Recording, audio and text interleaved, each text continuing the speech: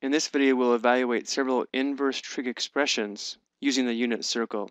We could also use reference triangles, which I will show in the next video. The first expression is inverse sine of negative square root 3 over 2, and this could also be expressed as arcsine. And if this is written as arcsine, it means exactly the same thing. We want to find an angle that has a sine function value of negative square root 3 over 2. So the input is the sine function value, and the output is going to be the angle. One of the most important things to remember about evaluating inverse trig expressions or inverse trig functions is that the output or the range has been restricted. There's an infinite number of angles that have a sine function value of negative square root of 3 over 2. However, the output for inverse sine or arcsine is restricted to or limited to the closed interval from negative pi over 2 to positive pi over 2. And for inverse cosine or arccosine, the output or range is limited to the closed interval from 0 to pi radians. And for arctangent or inverse tangent, the output or the range is limited to the open interval from negative pi over 2 to pi over 2. And the reason this interval is open is because remember that the tangent function is undefined at negative pi over 2 and pi over 2.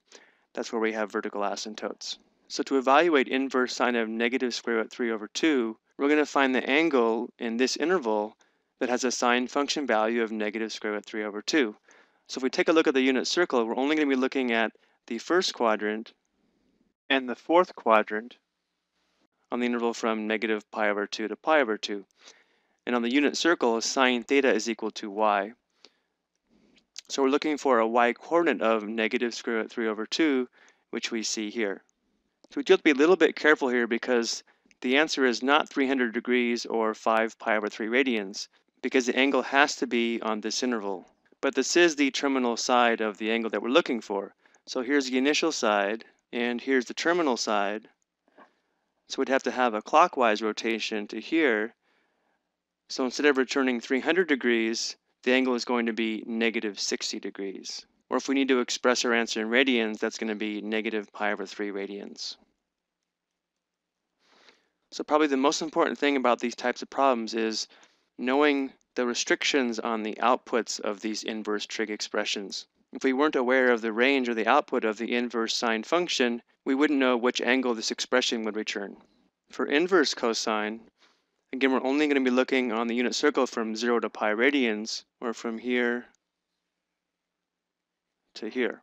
And because we're looking for an angle that has a cosine function of 0, and on the unit circle cosine theta is equal to x, we're now looking for an x-coordinate of 0. And here it is. Therefore, the terminal side of the angle must intersect the unit circle at that point. So here's the initial side, here's the terminal side, and so our angle is going to be 90 degrees or pi over 2 radians.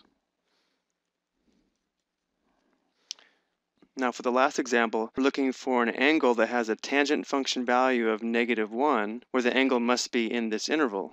So we're looking for an angle from 0 to pi over 2, or from 0 to negative pi over 2.